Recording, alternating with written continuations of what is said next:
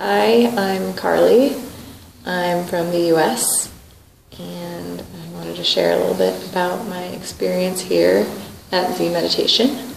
I came into the experience wanting a better understanding of my own thoughts and how they relate to my experience. Um, I definitely got that. I also got so much more. First of all, Ajay and Suchi are amazing hosts. Um, this is a beautiful place, beautiful experience filled with love, and that's great. But beyond that, um, I just have a a different, improved understanding of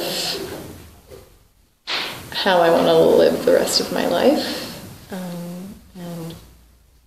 what's real and really, really great starting place. That's all I can say in a short amount of time. Um, much of this is difficult to explain in words, so I encourage you to come.